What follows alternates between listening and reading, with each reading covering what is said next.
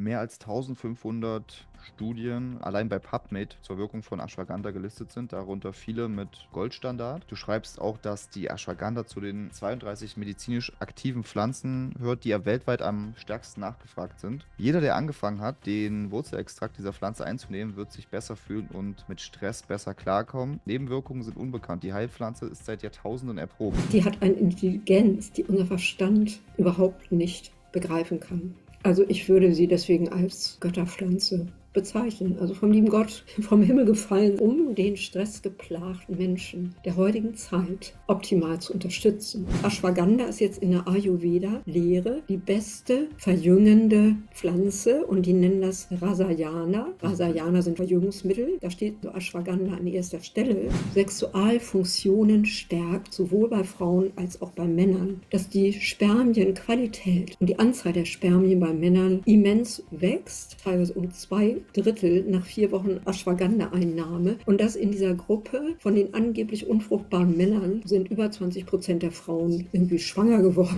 Und das ist ja wirklich jetzt ein riesiges Wirkungsspektrum. Ne? Du hast jetzt mindestens zehn Bereiche aufgezählt, wo es sehr, sehr hilfreich sein kann, beziehungsweise das sind noch viel mehr, das sind bestimmt 30. Das sind ja auch Sachen, die viele betreffen. Stress hat jeder, Gehirn will jeder schützen, jeder will tief und gut regenerieren, schlafen. Herzlich willkommen zum heutigen Interview. Mein Name ist Don Schumann und ich interviewe heute Barbara Simon Simonson und wir sprechen heute über die Pflanze Ashwagandha. Ich hatte ja schon, das, äh, schon einige Male das Vergnügen, die Barbara zu interviewen zu verschiedenen Themen, zu tollen äh, Heilpflanzen und Superfoods. Und heute haben wir uns die Königin des Ayurveda ähm, vorgeknöpft. Darüber hat die Barbara auch ein tolles Buch geschrieben. Ich zeige das mal in die Kamera. Das nennt sich Ashwagandha, Wirkung und Anwendung einer uralten, Heilwen äh, einer uralten Heilwurzel. Und äh, darüber werden wir heute sprechen. Ich bin schon sehr gespannt. Äh, ich finde diese Pflanze sehr, sehr toll und äh, sehe da sehr, sehr viel Potenzial. Und ja, welche Potenziale sie hat, das werden wir heute erfahren. Noch kurz ein paar Worte zu Barbara. Barbara ist äh, ja, Gesundheitsberaterin, Seminarleiterin und äh, Bestseller-Autorin. Sie hat schon sehr viele Bücher geschrieben mit einer Gesamtauflage von mittlerweile über 600.000 Büchern. Das heißt, äh, ja, das, was sie so schreibt, scheint bei den Leuten sehr, sehr gut äh, anzukommen, über viele Jahre hinweg. Und ähm, genau, ich bin gespannt, was wir heute alles so erfahren werden. Barbara, was sollte man noch zu dir wissen, äh, bevor wir gleich loslegen? Ja, ich finde, das reicht. Vielleicht noch, dass ich eben eigentlich äh, von, von meiner Herkunft her Laien bin. Also ich habe äh, politische Wissenschaften studiert, aber ich beschäftige mich seit über 40 Jahren mit dem Thema Ernährung. Und ähm, da ich von der wissenschaftlichen Ecke her komme, schreibe ich auch nur über Pflanzen wo die wissenschaftliche Datenlage befriedigend ist. Also wo es mindestens 500 wissenschaftliche mhm. Studien gibt, am besten zahlreiche mit Goldstandard, also placebo kontrolliert, randomisiert und so weiter. Mhm. Ja, und deswegen kann auch jeder, der meine Bücher liest, äh, das immer alles nachprüfen. Also da hinten sind die Endnoten oder Fußnoten mhm. und die meisten gibt es ja im Internet. Ja, ja, wer also der englischen Sprache mächtig ist, weil es, die Studien sind eben alle auf Englisch, ähm, ja, der kann das alles nachvollziehen. Ne? Und das ist da, äh, das ist quasi mein Ruf, ne? dass ich also nicht nur über die Volksmedizin äh, schreibe oder über Anwendungsbeispiele, das kommt auch in meinen Büchern vor. Ich habe ein ganzes Kapitel in meinem Ayurveda-Buch auch über Konsumenten, also über Anwender, äh, sondern das ist immer nur ein Teil. Das mhm. Wichtige ist, dass meine Aussagen wissenschaftlich äh, überprüft sind. Und was ich sehr, sehr erstaunlich finde, ist, dass eben auch wieder bei dieser Pflanze alles, was die Ayurveda äh, schon seit 8000 Jahren weiß, das wird jetzt nach und nach von der Wissenschaft bestätigt. Also ich nehme das an, dass diese Menschen intuitiv mit der Seele dieser Pflanzen in Kontakt waren und die Seele dieser Pflanzen hat ihnen das mitgeteilt. Und mhm. der Rest waren dann natürlich Erfahrungen mit dieser Pflanze. Aber man muss ja erstmal wissen, wofür die überhaupt gut ist. Mhm. Und so machen das auch die Indigenen Nordamerikas, früher Indianer genannt. Das hat also uns Wolf-Dieter Stoll darauf hingewiesen, dass auch bei allen Studien kommt unisono heraus, ähm, eigentlich von den einzelnen Inhaltsstoffen ist diese profunde Wirkung nicht zu erklären. Das heißt, diese Inhaltsstoffe wirken synergetisch zusammen. Also sie unterstützen sich gegenseitig in ihrer Wirkung. Und das ist natürlich besonders bei Adaptogenen wie der Schisandra-Beere oder Ashwagandha jetzt oder Ginseng, koreanischer Ginseng, äh, ist das der Fall. Ja, finde ich sehr spannend. Du hast es mit den Studien angesprochen. Du schreibst ja auch, dass mehr als 1500 Studien ähm, allein bei PubMed zu Mhm. Asch zur Wirkung von Ashwagandha gelistet sind, darunter viele mit äh, Goldstandard. Mhm. Und ähm, du schreibst auch, dass die Ashwagandha zu den 32 medizinisch akti äh, ak- aktiven Pflanzen hört, die ja weltweit am stärksten nachgefragt sind. Mhm. Und du lehnst dich ziemlich weit aus dem Fenster in deinem Buch. Und zwar schreibst du da auch, jeder, der angefangen hat, den Wurzelextrakt dieser Pflanze einzunehmen, wird sich besser fühlen und mit Stress besser klarkommen. Und Ashwagandha gehört zu den vielseitigsten Pflanzen, die ich kenne. Nebenwirkungen sind unbekannt. Die Heilpflanze ist seit Jahrtausenden erprobt. Ich betrachte den indischen Ginseng als intelligentes Superfood für alle Eventualitäten des Lebens. Mit. Ashwagandha blüht der Mensch auf, als ob der lang ersehnte Sommerregen endlich auf ein ausgedörrtes Stück Land fällt. Wir kommen back to balance, zurück ins Gleichgewicht. Das ist ja schon mal eine große Mhm. Ansage. Gerade in den heutigen Zeiten, wo viele au- aus dem Gleichgewicht sind und, und auch es viele Faktoren gibt, die uns aus dem Gleichgewicht bringen. Mhm. Ja, das würde ich sagen. Also dazu kann man sich ja insgesamt mal mit dem Thema Stress äh, beschäftigen, weil diese ganzen Adaptogene ja äh, die negativen Wirkungen von Stress reduzieren. Das ist ihr wesentliches Kennzeichnen ohne Nebenwirkungen. Ich kann das nachher dann noch im Einzelnen erläutern. Aber wir stellen uns mal vor, die Menschen in der Steinzeit, wir denken ja oft, die hatten mega Stress. Hatten sie auch, aber nur manchmal. Und dann haben sie entweder, äh, sind sie zum Angriff gerannt oder sie haben sich zur Flucht ganz schnell auf den nächsten Baum zurückgezogen oder in die nächste Höhle rein.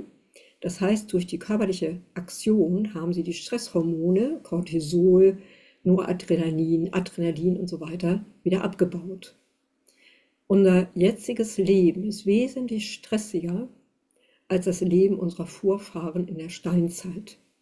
Erstmal, weil wir nicht, früher nicht alles mitgekriegt haben, was auf dem Planeten stattfand an Katastrophen, Naturkatastrophen, kriegerische Auseinandersetzungen und so weiter. Und weil in unserer Gesellschaft ein stressadäquates Verhalten, das heißt, äh, ja, Angriff, den Chef vermöbeln, der sich uns unfreundlich gegenüber gezeigt hat, oder fluchtartig das Büro verlassen, erstmal fünf, fünf Kilometer um äh, Block joggen, das sind gesellschaftlich sanktionierte Verhaltensweisen. Also da würden wir am nächsten Tag die blaue Karte im Briefkasten, den blauen Brief finden, das heißt die fristlose Kündigung. Hm. Wir bleiben sitzen und stehen und ähm, ja, fressen unsere Wut und unser Frust äh, hinein und damit steigt dieses, äh, können wir diese Stresshormone gar nicht wieder abbauen und die sind nur für momentane äh, Hochleistung gedacht, aber nicht für Dauer, dauerhaften Herumschwirren in unserem Körper oder in unserem Blut. Und äh, Cortisol zum Beispiel ist ein Zellgift. Da können, ähm, da können Zellen absterben durch Dauerstress. Wir können Demenz entwickeln. Wir können alle möglichen Krankheiten entwickeln. Es gibt Hm. überhaupt gar keine Krankheit, die nicht mit Stress verschlimmert werden kann. Und viele, viele Krankheiten werden durch Stress ausgelöst. Und dieser chronische Stress, dieser Dauerstress, äh, das ist eben das, was uns normalerweise krank macht. Ich unterrichte seit 40 Jahren das authentische Reiki, eine Möglichkeit der Tiefenentspannung und für Stressabbau. Aber dass es da im Pflanzenreich, also Pflanzen gibt, die uns die, äh, wie einen Schutzschirm gegenüber Stressfaktoren, dass wir Stress wahrnehmen, aber in einer Stresssituation im Vollbesitz unserer geistigen und körperlichen Kräfte bleiben. Also Mhm. das finde ich schon sehr sensationell. Deswegen habe ich Ashwagandha auch als intelligentes Superfood bezeichnet. Davon gibt es ganz, ganz wenig von den Adaptogenen. Und ähm, dass eben tatsächlich die Inhaltsstoffe dieser Pflanze im Körper herumschauen, äh, wo ist was aus dem Gleichgewicht, wo ist eine Überforderung, ist der Blutdruck zu niedrig, ist er zu hoch? Also etwas, was die moderne Wissenschaft auch gar, noch gar nicht befriedigend erklären kann. Ähm, und für, für mich ist deswegen diese Pflanze wie vom Himmel gefallen. Tatsächlich wie vom Himmel gefallen. Das, die hat eine Intelligenz, die unser Verstand überhaupt nicht begreifen kann. Also ich würde sie deswegen als äh, Götterpflanze bezeichnen. Also vom lieben Gott, vom Himmel gefallen, sage ich mal so, äh, um den stressgeplagten Menschen der heutigen Zeit optimal zu unterstützen. Und ich kenne eben keine weitere Pflanze, die einen gleichzeitig Energie schenkt und gleichzeitig mehr heitere Gelassenheit und innere Ruhe und inneren Frieden. Stimmt, du hast ja auch geschrieben, äh, wo gibt es das schon, dass eine Pflanze, die als Schlafbeere, so die Übersetzung, zu einem schnellen und tiefen Schlaf verhilft und aber auch gleichzeitig Kraft und Energie schenkt. Also die scheint da wirklich ähm, sehr ausbalancierend zu wirken wo sie vielleicht nochmal einen Sonderstatus unter den Adaptogenen hat, oder? Ja, äh, sie wird auch als indischer Ginseng bezeichnet, weil Ginseng gehört ja auch zu den äh, Adaptogenen. Das werde ich gleich nochmal den Mechanismus etwas ausführlicher erläutern. Äh, im, Im Gegensatz zum Ginseng ist es so, dass da, äh, wenn wir äh, Ashwagandha absetzen, also wenn wir jetzt sagen, oh, ich mache das jetzt kurmäßig und dann mache ich zweimal im Jahr vier Wochen Pause mit der Einnahme, gibt es keine Entzugserscheinungen. Und das ist bei Ginseng leider der Fall. Also, dass wir uns dann unwohl fühlen. Mhm. Und das finde ich so spektakulär. Das ist also in, insofern den Ginseng noch toppt. Es gibt ganz, ganz wenig Adaptogene, äh, also das äh, zum Beispiel noch die Schisandra-Beere oder äh, auch ähm, den sibirischen Rotwurz, Radiola. Mhm. Also wir haben, und das sind Pflanzen, die ganz, ganz wie soll ich sagen, die haben ganz fiese Umweltbedingungen. Also entweder ist der Boden total nährstoffarm oder sie haben arktische Temperaturen, wie eben dieser sibirische Rosenwurz, mhm. oder sie haben Trockenheit und Hitze ohne Ende ähm, in Hochlagen äh, ganz schwierig, wie zum Beispiel Ashwagandha. Und da entwickeln oder Schädlingsbefall, gerade in diesen Monsunländern, ne, wo das auch noch feucht heiß ist mit Termiten und so. Und da entwickeln diese Pflanzen äh, Abwehrstoffe, in, beim Fall Ashwagandha sind es jetzt Vitanolide vor allen Dingen, äh, um mit diesen total stressigen Umweltbedingungen besser klarzukommen. Und diese Eigenschaften, mit Stress besser klarzukommen, um, um überhaupt zu überleben, diese Eigenschaften, die äh, schenken sie uns, kann man sagen, die schenken sie uns eins zu eins. Das hm. finde ich ziemlich spektakulär. Ja, du hast ja auch gesagt, die sind äh, sehr intelligent. Vielleicht diese Pflanze nochmal besonders intelligent. Man könnte ja sogar sagen, auf gewissen Ebenen sind sie deutlich intelligenter als der Mensch und auf jeden Fall auch deutlich erfahrener. Also sie haben ja Mhm. äh, viel mehr Erfahrung als, als die Menschheitsgeschichte und äh, können uns dann vielleicht dadurch auch äh, gut weiterhelfen, gerade in diesen schwierigen, stressigen Zeiten. Hm. Ja, kann man sagen, die haben ein paar Millionen Jahre auf dem Buckel. Die erste Pflanze, die es überhaupt ja gab, was waren die blaugrünen Algen im Meer. Und die haben vor ungefähr dreieinhalb Milliarden Jahren die Photosynthese erfunden und damit überhaupt das Leben auf diesem Planeten ermöglicht, wie wir das kennen. Also wir leben ja eben von dem, was die Pflanzen ausscheiden, von dem Sauerstoff. Und äh, Kohlendioxid, was wir ausatmen, davon profitieren wieder die Pflanzen. Und das finde ich so sensationell, dass also wir diesen blaugrünen Algen im Meer, die im Moment immer noch mehr Sauerstoff produzieren als alle Wälder der Welt zusammen, dass wir denen das Leben zu verdanken haben. Vorher war die Erde ein Feuerball mit giftigen Gasen. Das finde ich sensationell. Ich habe ja ein Buch über diese Afe-Alge geschrieben, diese äh, diesen Einzeller, also vor dreieinhalb Milliarden Jahren. Und das finde ich spektakulär, dass wir den Pflanzen die Entwicklung zum Menschen und überhaupt die Entwicklung von Säugetieren und überhaupt von tierischem Leben haben wir den Pflanzen zu verdanken. Und wir leben in Symbiose mit den Pflanzen natürlich, weil, wie gesagt, äh, wir ja durch die Photosynthese sind wir mit den Pflanzen verbunden und das ist ein Win-Win-Game. Also wir leben symbiotisch miteinander. Ja, und das ist auch ein guter Reminder, dass äh, wir auch dann auch ähm, ja, vertrauensvoll und ähm, bewusst mit den Pflanzen oder mit der Natur umgehen. Mhm. Ähm, aktuell geht da ja auch vieles in eher in gegenteilige Richtungen, aber ich denke, es ist nie zu spät, äh, Nee, aber es sterben im Moment äh, jeden Tag 150, etwa 150 Pflanzen- und Tierarten aus. Jeden. Tag so viel. Jeden Tag 150. Und deswegen äh, ist es so, wir sind Teil, also wir sind Säugetiere. Wir sind Tiere, wir sind Teil von diesem ökologischen Netz. Wir sind nicht die, äh, was weiß ich, die Herrscher des Universums und die Krone der Schöpfung. Hm. Und das ökologische Netz, Thema Artenschutz, äh, wir haben von den etwa 150.000 Insekten noch nicht mal die Hälfte benannt, geschweige denn erforscht. Und es gibt noch unzählige Arten, die wir noch gar nicht entdeckt haben, die aber gerade dabei sind, vielleicht auszusterben. Und deswegen, wir sind Teil von diesem ökologischen Netz. Und in meinen Augen wird das mit der Energiewende äh, ein bisschen übertrieben. Artenschutz ist genauso wichtig. Wir wissen nicht, wenn das Netz viel zu dünn ist und überall nur noch dünne Löcher sind, äh, dann rauschen wir durch diese Löcher hindurch. Dann ist unsere Existenz auf diesem Planeten beendet. Und deswegen äh, sollten wir in meinen Augen, es geht gar nicht um Artenschutz, dass wir irgendwelche Tiere und Pflanzen retten, sondern wir retten damit uns selber.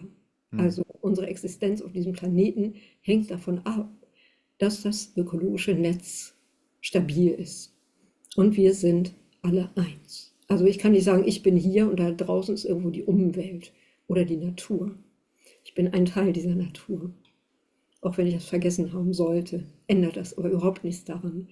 Ja, und wir äh, machet euch die Erde untertan. Das ist in meinen Augen, wenn das ist missverstanden worden. Äh, es geht nämlich um Verantwortung. Nicht, dass wir unser Oikos heißt Haus auf Griechen, Griechisch, auf Altgriechisch, das, und daher kommt Ökologie, dass wir unser Haus ähm, instand halten, dass wir caring, dass wir also für alle unsere Mitgeschöpfe, ähm, ja, also äh, stellvertretend für die uns mitsorgen und um, um ihren, ihre Existenz uns kümmern. Was Albert Schweitzer sagte, Leben ist das, was Leben will. Und nicht nur wir wollen leben, sondern alle anderen Tiere auch. Und da geht es eben nicht darum, dass wir mit Glyphosat die sogenannten Unkräuter, die in Wirklichkeit Wildkräuter und Beikräuter sind, dass wir die alle platt machen. Hm. Und wir, Und es geht auch nicht darum, dass wir alle, Tü äh, alle Kühe im Sommer einsperren, weil ja, auf einem Kuhfladen existieren bis zu 10.000 Insekten, bis zu 1.000 Arten. Und damit haben wir dann gleichzeitig die Wiesenvögel, wie den Kiebitz, haben wir in die Wüste geschickt. Nicht? Und diese ökologischen Zusammenhänge, die sind ja mittlerweile äh, bekannt. Und die zu ignorieren, so zu tun, als wenn uns das alles gar nichts angeht, das ist jetzt kein Irrtum mehr, weil wir das alles wissen, sondern es ist ein Verbrechen. Also Tod ist der Unterschied zwischen Totschlag und Mord. Wenn mich einer tötet, ist mir das relativ egal. Tod ist tot, ob das jetzt Mord oder Totschlag war. Aber in diesem Fall ist es einfach so, dass die Fakten ja alle auf dem Tisch liegen. Nicht? Und die einfach zu ignorieren, ist nicht nur Dummheit, sondern in meinen Augen auch ein Verbrechen und letztlich gegen sich selber. hm. Also dummer, dümmer geht's gar nicht. Das macht keine Tierart außer uns. Äh, auf dem Ast zu sägen, an dem Ast zu sägen, auf dem wir sitzen. Das kennt man von keiner anderen Tierart. Die bringen sich nicht massenweise um mit allem, was sie haben. Ja, Bei, bei den Bonobos, ich, hab, ich lese gerade ein Buch über die Bonobos, das sind unsere nächsten Verwandten, das sind die, das sind die äh, Zwergschimpansen. Da herrscht übrigens Matriarchat, so zur Info im Gegensatz zu den Schimpansen.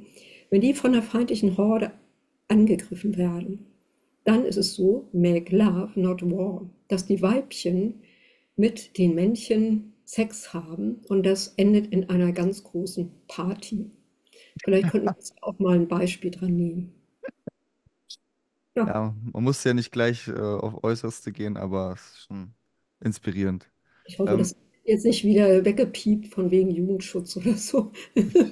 ja, ich hoffe es nicht. Ja, ähm, ja, und auch die, diese ganzen Frequenzen kommen ja auch noch dazu, wo das, das So 5G, Insektensterben, also dass wir damit eben auch, oder Windräder, ja, äh, uns das anscheinend, ich sag mal, scheißegal ist, ob der rote Milan da an den Windrädern, äh, Windrädern zerschreddert oder ob die Windräder gerade in der Linie von Zugvögeln Vögeln liegen oder mit 5G jede Menge anderer Kreatur über Jolla gehen. Also schadet ja uns selber und aber natürlich vielen anderen Lebewesen auch. Und das ja, scheint uns oder den, den Maßgeblichen, die da Verantwortung für, für tragen, scheint das komplett egal zu sein. Aber ich glaube, wir müssen jetzt mal wieder zum Thema ja. Schwanger. Lass uns zurück zum Thema Ashwagandha gehen. Ähm, kurz und knapp, wie bist du denn auf diese Pflanze gestoßen und welche Erfahrungen hast du mit ihr gemacht? Ja, also gestoßen bin ich eigentlich äh, diesmal nicht von mir aus alleine. Den Namen hatte ich vorher schon gehört. Hatte ich mich bei dem Gedanken ertappt, wie Mensch, das klingt ja wie ein wunderschöner Mädchenname. Ashwagandha mit so vielen A's, Herzchakra. Wenn ich noch mal ein Mädchen, jetzt bin ich aus dem Alter raus, kriegen würde, würde ich vielleicht meine Tochter so nennen. Finde ich traumhaft. Oder Artemisia, Alternative. Artemisia auch schön, ja. Ja, finde ich auch. Aber Anua vielleicht nicht, die soll schon ein bisschen mehrjährig werden. Ja, aber äh, es war tatsächlich so, dass der Narayana Verlag auf mich zugetreten, zugekommen ist, ob ich über einen Kontakt, über eine Chefredakteurin von einer sehr, sehr guten Zeitschrift, äh, für die ich ab und zu schreibe, ob ich nicht ein Buch über Ashwagandha schreiben möchte, weil es zu Hm, diesem Thema noch kein Buch gibt, nicht im, nicht im deutschsprachigen Raum. hm, Ja, und dann habe ich erstmal ein Produkt von denen ausprobiert, weil ich kann nur Bücher schreiben über äh, Dinge, wo ich auch selber ein, ein dickes Plus erlebe. In Lebensqualität, in Lebensfreude, in Lebensenergie und so. Ne? Sonst kann ich ja nicht deinen Lesern sagen, das ist eine tolle Sache und ich merke nichts. Ne? Also das geht ja nicht. Dann hatte sie mir so ein Präparat geschickt und ich habe tatsächlich nichts gemerkt. Da habe ich sie angerufen, so nach vier Wochen, und gesagt, so, sorry, aber hm, und da hat sie gesagt, das würden ganz viele Kunden so erleben, dass gerade dieses Präparat also überhaupt bei ihnen nicht wirkt. Und jetzt würde sie mir mal schick- schicken, einfach das komplette Pulver der Wurzel, also wo einfach nur das Wasser entzogen ist. hm, Und da habe ich von Anfang an ganz tolle Sachen erlebt. Also wie gesagt, viel längeren und besseren, tieferen Schlaf, bessere Laune mit Stress, das ist so an mir abgeperlt und so. Und da habe ich gedacht, wow. Und dann habe ich natürlich zugesagt. Also das war äh, natürlich mittlerweile habe ich auch ein bisschen recherchiert über Ayurveda. Ich selber komme, äh, habe eine Yoga-Lehrerausbildung gemacht. Mein Yogalehrer Remo Ritschner aus der Schweiz, der macht Ayur Yoga, also ayurvedisches Yoga. Und deswegen hat, äh, kannte ich mich da ja schon aus, einigermaßen hm. dass es eine Gesundheitslehre ist, die bereits 8000 Jahre alt ist und äh, so weiter. Und wenn jetzt äh, Ashwagandha bei denen so eine Rolle spielt als Königin der, des Ayurveda, dann ist da auch was dran. Das war mir natürlich klar. Ja. Ähm, und ich meine, die Pflanze scheint ja sehr, sehr potent zu sein. Äh, wenn man mal in dein Buch reinschaut, da stehen da so Wirkungen drin wie äh, Modulierung des Immunsystems, Reduzierung von Entzündungen, äh, besseren Schlaf hatten wir schon gesagt, Mhm. En äh, Linderung von Ängsten und Stress, äh, sehr gut für die kognitive Leistung und äh, Demenzprävention und so weiter und so fort. Also da scheint ja schon sehr, sehr viel, ähm, ja, sehr, sehr viel Wirkung da zu sein, worüber wir später, glaube ich, noch ausführlich sprechen werden. Mhm. Ähm, kannst du vielleicht noch was sagen zu der Geschichte der, ähm, also der Historie zur Ashwagandha, wie es früher genutzt wurde und auch zur ähm, Ayurveda an sich kurz? Genau, also sagte ich schon 8000 Jahre alt, dieses uralte Wissen. Ved heißt Wissen oder Weisheit. Ayus heißt langes Leben. Also Ayurveda ist die Lehre vom langen und gesunden Leben. Das Ziel des Ayurveda ist eine Balance von Körper, Seele und Geist. Die Gesundheit will man stärken im Ayurveda, Krankheiten vorbeugen, vorbeugen und Krankheiten heilen. Also das sind eben sehr äh, hohe Ziele, wo unser sogenanntes Gesundheitssystem ja noch nicht mal Krankheiten heilen kann, geschweige denn Prophylaxe und Gesundheit stärken. Das ist also äh, eine ganz andere Dimension.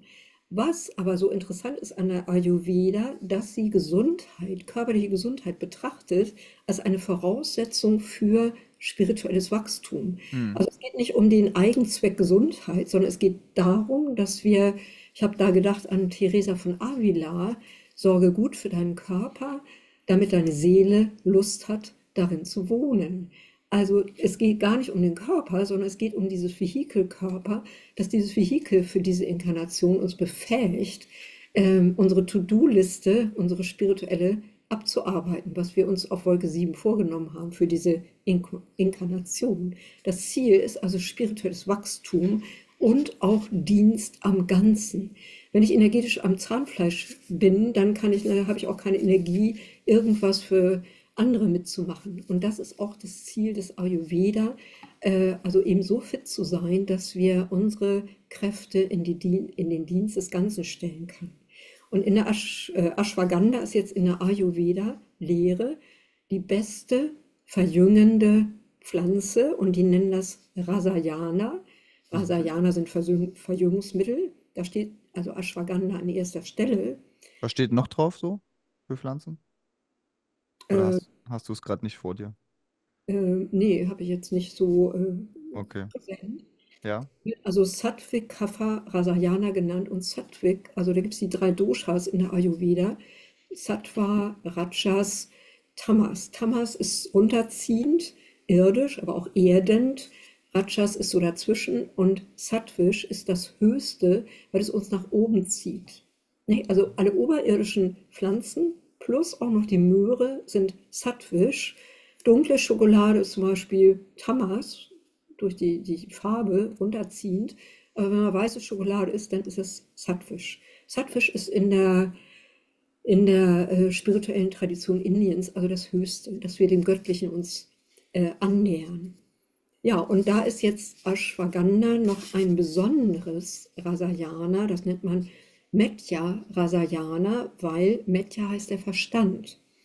Und Ashwagandha ist besonders gut für unsere intellektuellen Fähigkeiten, für die kognitiven Fähigkeiten und äh, ja, für Verstand, Demenzprophylaxe, Alzheimer-Prophylaxe. Also es wird Kindern gegeben, die sich schlecht konzentrieren können. Wir würden sagen, die ADS haben. Es wird Älteren äh, gegeben, die mit Demenz zu tun haben. Also nicht nur ein körperliches Stärkungsmittel, sondern besonders auf der mentalen Ebene.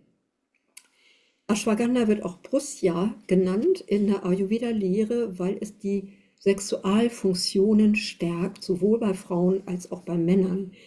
Also ich habe da in meinem Buch auch wissenschaftliche Untersuchungen zitiert, dass die Spermienqualität und die Anzahl der Spermien bei Männern immens wächst, teilweise um zwei Drittel nach vier Wochen Ayurveda, äh, Ashwagandha-Einnahme. Und dass in dieser Gruppe von den angeblich unfruchtbaren Männern, äh, dass da äh, die Frauen, die, die konnten die besuchen und so weiter, dass da äh, in der Versuchszeit, das waren nur ein paar Wochen, sind, äh, sind über 20 Prozent der Frauen irgendwie schwanger geworden. Also das war schon sensationell. Brussia stärkt die Libido bei Frauen und eben die äh, ja, also Impotenz und ähm, äh, Ashwa heißt ja auf Sanskrit Pferd. Und die äh, Inder äh, stellen sich das so vor, dass diese Pflanze uns die Kraft eines Pferdes oder sogar eines Hengstes vermittelt. Ja, kann man gut gebrauchen. Ja, die haben eben auch schon rausgefunden gegen Entzündungen, äh, bei Schwäche, mental und körperlich, Hautproblemen, neurologischen Erkrankungen, Schmerzen, Verdauungsproblemen bei Krebs, Epilepsie, verbessert die Ausstrahlung, äh, Herzrhythmusstörung, über Herzklabaster überhaupt, Schilddrüsenprobleme, Immunschwäche, Wurmbefall, Schlafprobleme und Muskelschwäche. Also das ist ja schon mal eine, eine Hausnummer. Und ich kann nur sagen, äh, dass, das habe ich auch in meinem Buch geschrieben, habe ich erstmal allgemein so diese Kapitel, diese Themen abgehandelt und dann habe ich immer gefragt, was sagt die Wissenschaft? Ist natürlich eine rhetorische Frage, weil ich ja die Studien alle vorliegen hatte. Und diese ganzen Indikationen, die die ähm, Ayurveda Lehre schon seit Jahrtausenden kennt, die hat mittlerweile die Wissenschaft bestätigt. Mhm. Also eins zu eins. Und ich wollte jetzt nochmal, ich habe das Wort ja erwähnt, adaptogen. Adaptare heißt im Lateinischen angleichen, harmonisieren. Und der Begriff wurde geprägt 1947 bereits von einem gewissen Nikolai Lazarev, ein Russe. Äh, diese Adaptogene wirken gegen Stress jeder Art durch ein bestimmtes Hitzeschockprotein. Und zwar äh, ist das ein Eiweißstoff, ein Stresssensor, der also Stress misst. Ähm, und dadurch wird der Cortisolspiegel, das ist ein Stresshormon, runtergeregelt. Das Stickoxid, das ist ein freies Radikal, sehr schädlich auf die Dauer, wird runtergefahren. Die Mitochondrien, die kleinen Kraftwerke in unseren Zellen, werden geschützt und gestärkt. Die Zelle kann auch in Stresssituationen, wo die ganz oft schlapp machen, mehr ATP, also Adenosin-Triphosphat, produzieren. Dadurch bleibt auch die geistige und körperliche Leistungsfähigkeit in Stresssituationen erhalten. Wir brauchen also da nicht in den Todstellreflex äh, gehen, was manchmal nicht so hilfreich ist. Serotonin wird gefördert, auch in Stresssituationen. Das ist also stimmungsauffällend. Dopamin, deswegen ist es auch eine wunderbare Therapie und Prophylaxe für Morbus, Morbus Parkinson. Die Reparatur von der DNA wird gefördert, also von unserer äh, genetischen äh, Substanz. Krebsrisiken werden gemildert. Und was ich schon sagte, also Ashwagandha äh, guckt überall im Körper rum, die Stoffe, die, vor allem die Vitaminoide, guckt überall rum, wo wird was gebraucht, wo ist was außer Balance, wo äh, ist was zu viel, wo ist was zu wenig und gleicht aus. Also besser als jeder Arzt sozusagen. Ja, deswegen zumal nur als Beispiel, ob ich eine Schilddrüsenüberfunktion habe oder eine Unterfunktion, spielt für Ashwagandha keine Rolle. Es wird beides ins Blut gebracht. Ob ich Bluthochdruck habe oder einen niedrigen Blutdruck, äh, das wird beides ins Gleichgewicht gebracht. Das finde ich also spektakulär. Ich habe einen niedrigen Blutdruck von 90, 60 und äh, ja, ich möchte, das ist äh, lebensverlängert, das ist sehr gesund. Alles läuft ja im Schongang. Man lebt ewig, hat das Gefühl, man lebt gar nicht, aber dafür lebt man dann ewig. Aber ich habe keine Symptome mehr. Ne? Ich bin trotzdem leistungsfähig, ich bin gut drauf, ich äh, kann Sport, sportliche Höchstleistung bringen und so weiter. Ne? Und das ist ja der Punkt. Ja, und zu hoher Blutdruck wird runtergeregelt. Blutzuckerspiegel wird äh, zu hoher wird runtergeregelt und das ist also sensationell. Äh, ich habe schon erwähnt Vitanolide. Man fragt sich ja, was ist das denn? Noch nie gehört. Äh, das sind sogenannte Steroidlaktone, was natürlich jetzt auch nicht so bekannt ist. Das sind bioaktive Substanzen. Äh, etwa 130 wurden bisher entdeckt in der, äh, in der Ashwagandha-Wurzel. Und zwar regeln die Entzündung runter, wenn bei übersteigerten Entzündungen, bei chronischen Entzündungen, der Körper, wenn wir chronische Entzündungen haben, Silent Inflammation, wenn dann vielleicht ein Virus und ein Bakterium, wir damit konfrontiert sind, dann ist das Immunsystem leider schon beschäftigt mit diesen entzündlichen Prozessen. Und deswegen sind wir dann nicht fit. Also deswegen kriegen wir da alles Mögliche. Nicht im Herbst die Grippe und vielleicht wieder eine C-Grippe, so in diesem Stil. Krebszellen. Also ich habe ein Riesenkapitel über Krebs drin, äh, was Ashwagandha alles prophylaktisch und therapeutisch bei Krebszellen macht. Das ist sensationell. Äh, also sorgt erstmal dafür, dass sie gar nicht anheften können am Gewebe, dann können sie sich auch nicht vermehren. Äh, bremst die Metastasierung aus. Die Menschen sterben nicht am Primärtumor, äh, sondern an den Metastasen, an den Tochtergeschwulsten, äh, sorgt dafür, dass die keine Blutgefäße bilden können und sich damit nicht ernähren. Die verhungern am langen Arm, kann man sagen, die Krebszellen. Wir produzieren nämlich jeden Tag zwischen 5.000 und 10.000 Krebszellen.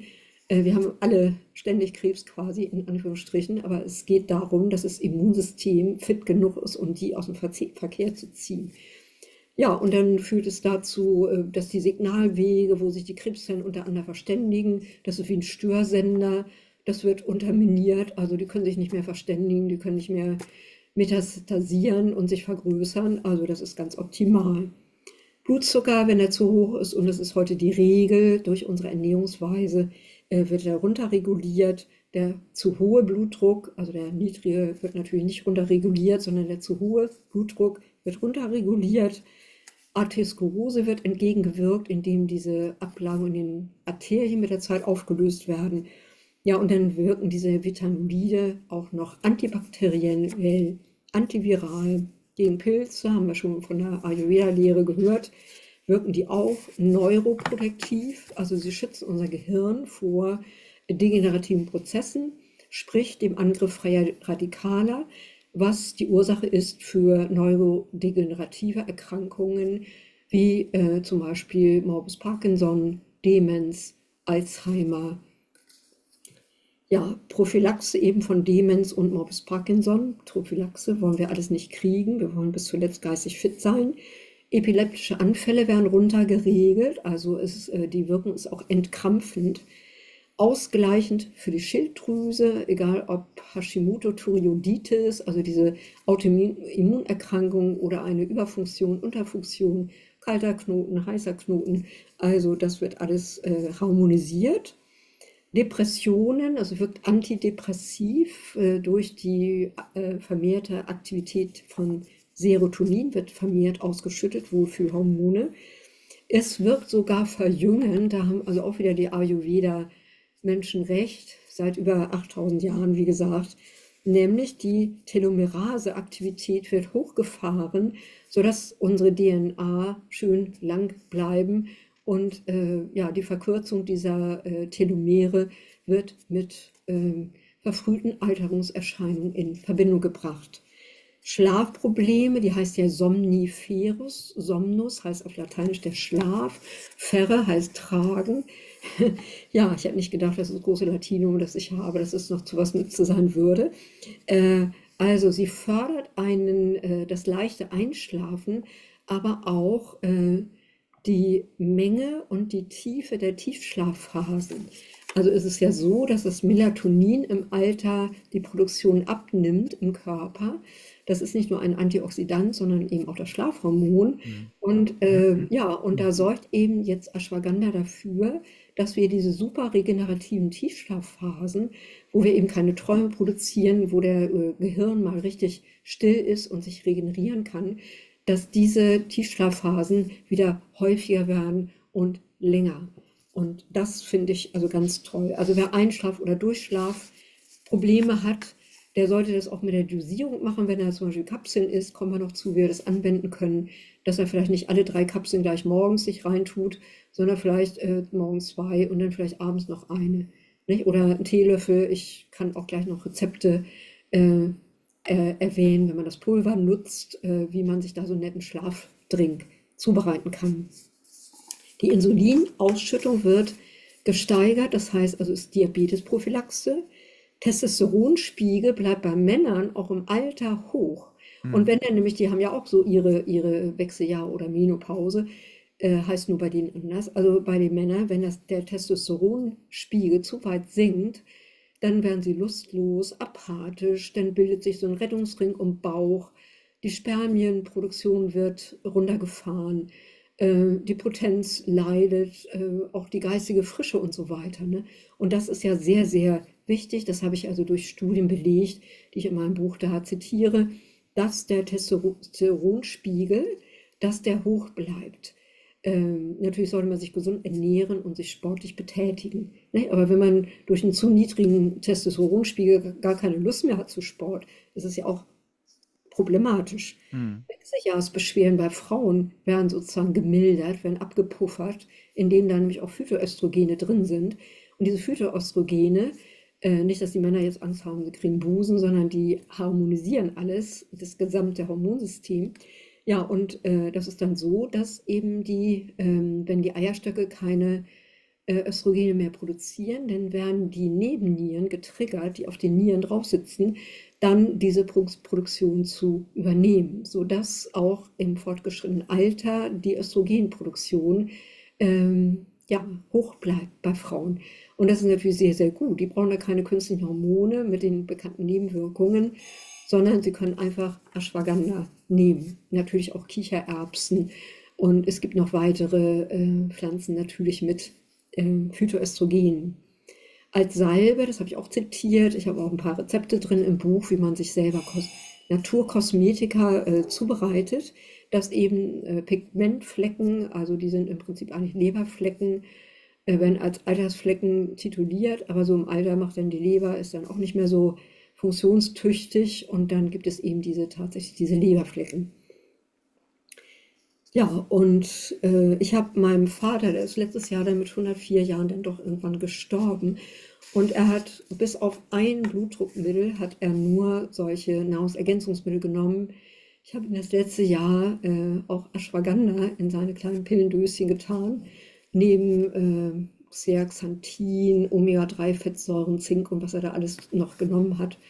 Ähm, ja, und da habe ich ihm nach Ashwagandha untergejubelt. Ich habe ihn natürlich gefragt und äh, ja, und da kann ich sagen, dass dieses halbe Jahr doch an Lebensqualität und Lebensfreude, dass er da noch mal wieder so einen kleinen Aufsprung genießen Mhm. konnte. Das fand ich äh, richtig toll, nicht, dass ich da rechtzeitig dann äh, Ashwagandha kennengelernt habe, um meinem Vater in seinem letzten Lebensjahr noch äh, ja, besonders Lebensqualität eine besondere, ein besonderes Niveau von Lebensqualität zu schenken. Also da war ich dankbar und froh, kann ich Ja. sagen. Und das ist ja wirklich jetzt ein riesiges Wirkungsspektrum, ne? Du hast jetzt Mhm. mindestens zehn Bereiche aufgezählt, wo es sehr, ähm, sehr hilfreich sein kann, beziehungsweise das sind auch, noch viel mehr, das sind bestimmt 30. ja. Ja, also ich das habe sind ja auch, das sind ja auch Sachen, die viele betreffen. Also genau, ist ja jetzt nicht so was äh, ganz Exotisches, äh, von wegen, äh, Epilepsie oder so hat natürlich nicht ja. jeder, aber äh, Arteriosklerose hat jeder, Stress hat jeder, äh, äh, Gehirn will jeder schützen, jeder will tief und gut und, und regenerieren, schlafen. Ähm, tja, also jeder will heitere Gelassenheit, inneren Frieden erleben in Stresssituationen, also gleichzeitig innere Ruhe und mehr Lebenskraft. Wer will das nicht? Das ist Hm. also wie Gehirndoping, aber ohne Nebenwirkung. Hm. Nicht? Da ziehen sich ja einige dann auch so allen möglichen fragwürdigen Zeugs da rein. Das geht ja bis Vecamine und bis Ritalin und so. Diese Brain Enhancer nennt man das. Also da habe ich, habe ich Artikel ausgewertet, dass 17 Prozent aller Manager sich mit so einem Zeugs da dopen. Das ist ein Trend, der leider richtig ungut ist. Hm. Und da finde ich, dass wir jetzt dann lieber mal auf natürliche Mittel zurückgreifen, die seit Jahrtausenden erprobt sind und die eben keine Nebenwirkungen haben. Hm. Okay, ähm, dann lass uns über die Anwendung sprechen, oder? Also, da steht ja, steht ja zur Frage, welches Produkt, welches Produkt nicht, Genau, dann welche, also welche Dosierung, dann mhm. über welchen Zeitraum, kann man es sogar dauerhaft nehmen oder muss man immer wieder Pausen einlegen? Also Fragen habe über Fragen. Ich muss ja gucken, das muss ich dann vors Gesicht halten. Stimmt, ich lerne aus Erfahrung. Das ist das Pulver, Ja. unauffällig. Man kriegt das, äh, ich habe das von der Firma Unimedica, aber auch Sunway zum Beispiel macht ja ein gutes Produkt. Mhm. Äh, ja, das ist also hier das Pulver. Das Mhm. ist sozusagen so die Art und Weise, wie das natürlich in der Ayurveda seit Jahrtausenden verwendet wurde, die aber auch an so hohe Mengen von Ayurveda, äh, von Ashwagandha angepasst sind, dass die da mal locker äh, zwei bis drei gehäufte Teelöffel in der Ayurveda nehmen. Ne? Mhm. Nur mal so als Schlafdrink. Und da kann ich erstmal von abraten, dass wir uns da langsam so rantasten. Und die Alternative wäre, dass man das in Kapselform zu sich nimmt. Ich habe das hier auch von Unimedica. Mhm. Und äh, das ist ja eindeutig so, dass solche drei Kapseln, drei Kapseln tatsächlich viel weniger sind als mal wegen zwei bis drei gehäufte Teelöffel. Also Mhm. da kann ich sehr empfehlen, dass man da mindestens am Anfang, man kann sich ja langsam steigern, äh, aber doch mal ein bisschen, ähm, ja, also einfach berücksichtigt, dass wir das noch nicht gewohnt sind. Diese Wurzel kommt aus Indien, die Ja. wächst nicht vor der Tür, die wächst nicht wild, die kann man hier nicht anbauen. Das ist eine Tropenpflanze, nicht? Und das ähnlich wie, wie was ich, Nori-Algen. Wenn ich jetzt dreimal in der Woche, die Japaner sind da von der Evolution hier angepasst an diese hohen Jodgehalte dieser Nori-Algen, dieser Meeresalgen. Wenn ich dreimal die Woche äh, Sushi esse, dann handle ich mir auf die Dauer eine Überfunktion der Schilddrüse ein, ne? eine Hyperthyreoiditis. Und äh, da müssen wir mal ein bisschen gucken, wo lebe ich, was ist hier urheimisch, was wächst direkt vor der Haustür. Also bei Brennnesseln und Salbei und so ist das natürlich nicht der Fall. Nicht? Aber Mhm. wenn wir da exotische Pflanzen äh, in unsere Nahrung integrieren, dann, dann äh, fangen wir nicht gleich mit der Höchstdosierung an. Da kann ich Ja. von abraten. Ja, und äh, ich habe ja schon gesagt, dass ich äh, äh, dringend also die komplette Wurzel, wo nur das Wasser entzogen ist, ähm, propagiere Mhm. und nicht. Es gibt also auch ein Präparat, wo die dann so Werbung machen, das ist auch patentiert, ein bestimmtes Vitanolid haben sie da rausgezogen und äh, standardisiert, natürlich auch patentiert. Und da kann ich von abraten, weil, wie gesagt, es bei mir überhaupt gar nicht gewirkt hat und auch ganz, bei ganz vielen Anwendern überhaupt nicht. Und es ist so, mh, dass zum Beispiel, wenn ich das Bromelain von der Ananas, wenn ich das isoliert zu mir nehme, ist es nicht optimal, weil besser die ganze Ananas, vor allem das Herz der Ananas, ne? weil der Körper darauf, seit Jahrtausenden ist er darauf eingestellt. Und wenn ich jetzt isolierte Stoffe, auch wenn die natürlich sind, natürlichen Ursprungs, wie in diesem Fall, nehme, dann äh, habe ich diese synergetischen Effekte nicht. Äh, ich habe also die, wo, wo die einzelnen Stoffe sinnvoll und, und gut zusammenwirken. Und äh, ich habe sozusagen versucht, den Lieber zu spielen, indem ich meine, dass das noch besser ist als die ganze Pflanze. Und das Mhm. ist es nicht. Ja, und dann hat diese äh, besagte Firma, also den Namen will ich jetzt lieber nicht nennen, dann auch noch die Dreistigkeit besessen, sich den Grasstatus selber zuzu, also sich einfach selber den zu, den Titel zu schenken. Da ist normalerweise die um, US-amerikanische FDA, Federal Drug Administration, für zuständig. Ja, aber Indien ist ja weit weg, ne? Also das ist richtig eine Frechheit. Und damit, damit machen die Werbung. Also in meinen Augen ist das nur einfach aus kommerziellen Gesichtspunkten geboren, diese Idee da, dieses eine Vitamid von etwa 130, die bisher entdeckt wurden, da rauszuziehen und zu meinen, das ist jetzt das Allheilmittel und das toppt alles und das ist viel besser noch als alle anderen Produkte. Nein, also dieses Pulver aus der Ashwagandha-Wurz ist ja nur einfach wie eine Rosine oder eine Backpflaume. Das ist ja einfach nur das Wasser entzogen. Aber sonst sind alle Inhaltsstoffe dieser wunderbaren Pflanze drin, in der natürlichen Gewichtung, in der natürlichen Zusammensetzung und in der natürlichen Gewichtung. Wo wir eben, also in Indien jedenfalls seit Millionen Jahren sind da die Menschen auf diese Stoffe angepasst. Und da kann man nicht einfach einen Stoff isolieren und behaupten, dass wir noch, dass, dass wir jetzt noch besser. Also das finde ich eine Dreistigkeit. Ich finde das unspirituell. Und ich finde das auch nicht vernünftig. Also da kann ich nur sagen, Augen auf, also immer äh, die ganze Pflanze bevorzugen äh, und natürlich synthetische Sachen auch sowieso gar nicht, nicht. Also das ist ja so, dass wir das gar nicht als Körper erkennen können, was da im Chemielabor entstanden ist. Das ist jetzt bei diesem Produkt nicht der Fall. Die haben es ja schon aus der natürlichen, aus der Wurzel, aber sie schmeißen ja 99 Prozent der, der, der Wurzel auch weg. Ne? Was ist denn das für eine Politik? Ich weiß nicht. Wird die dann als Schweinefutter eingesetzt oder was? Ich habe keine Ahnung. Ja, also wie gesagt, äh, ich empfehle aus auch meiner eigenen Erfahrung und der Erfahrung von Hunderten von Anwendern vom, von Unimedica, empfehle ich tatsächlich entweder das Pulver oder die Kapseln Mhm. aus der gesamten, aus der kompletten getrockneten Wurzel. Ja, das ist meine dringende Empfehlung. Ja, äh, das Pulver könnte ich mir vorstellen, dass es für einige zu bitter schmeckt, also zu heftig, gerade wer jetzt vielleicht noch nicht so viel Wildkräuter und Bitterstoffe in der Nahrung hat.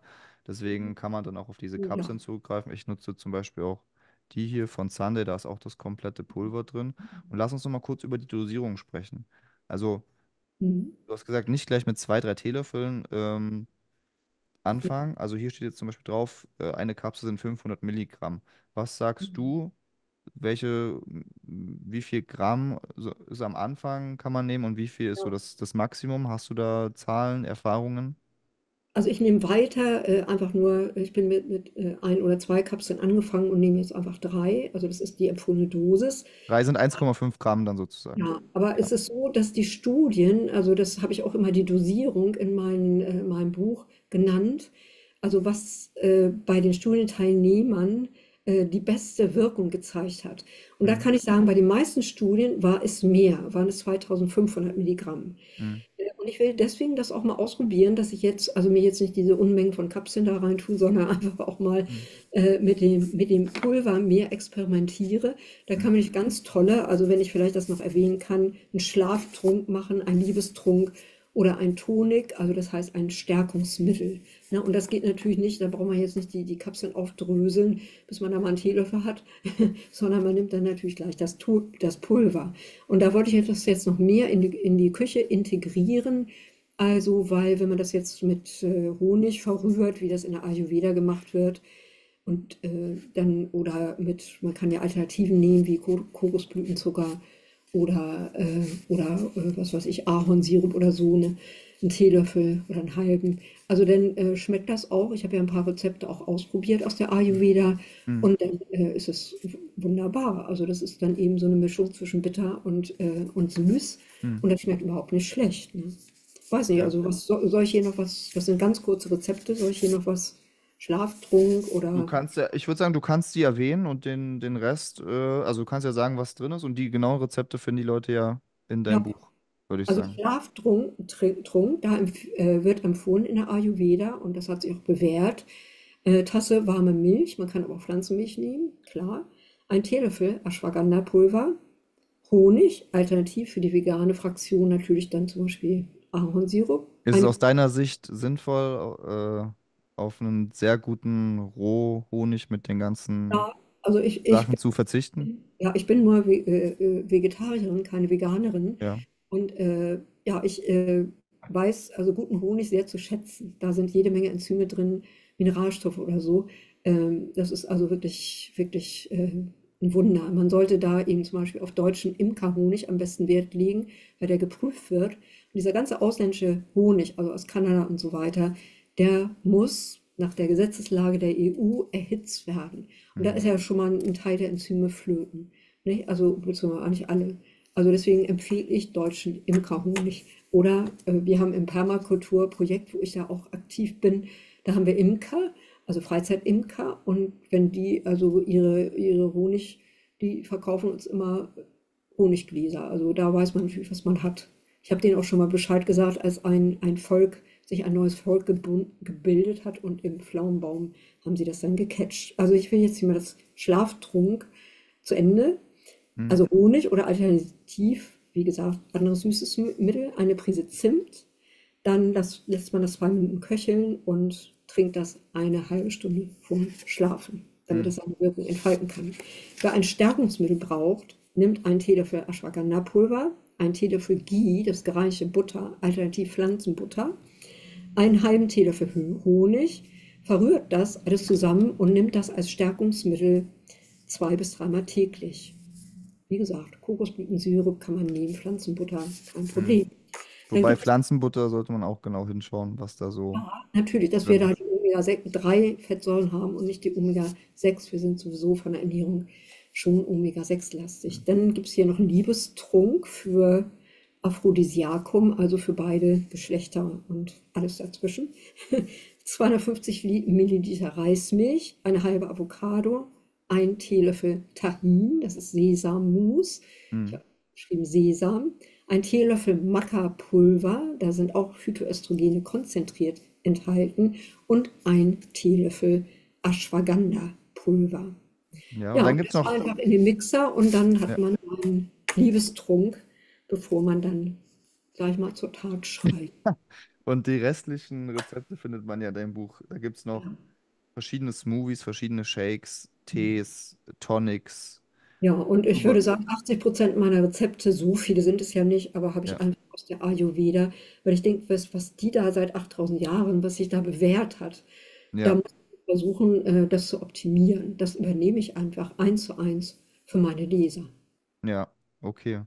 Äh, nochmal kurz Zusammenfassung zur Dosierung und Anwendung. Also ähm, 1 bis so 2,5 Gramm, äh, eher dann über den Tag verteilt sozusagen. Das heißt, wenn man Kapseln nimmt, sind das dann so zwei bis fünf Kapseln.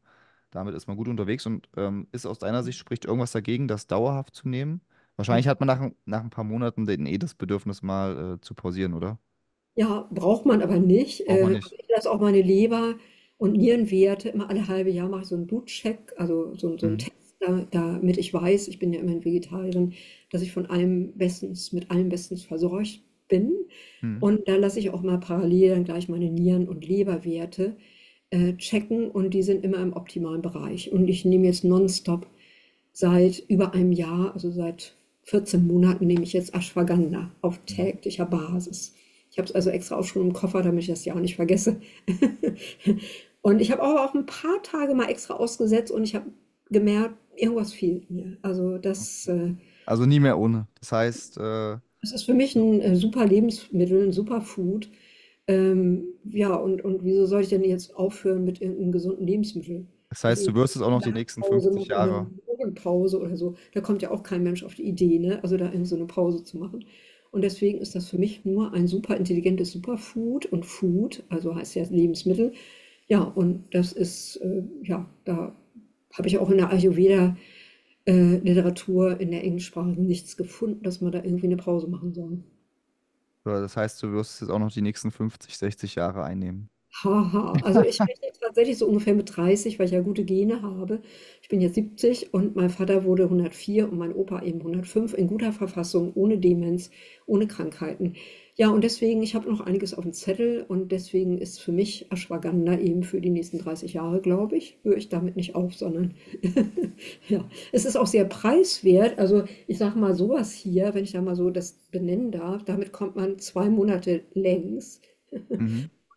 Gibt es äh, zwei solche Gläser, äh, Special Offer, Sonderangebot bei Unimedica äh, für 29 Euro. Das heißt, dass man für, für 15 Euro im Monat, äh, nee, das ist ja sogar noch weniger, also ich Ja. bin kopfrechnisch schwach, das sind irgendwie 8 Euro im Monat.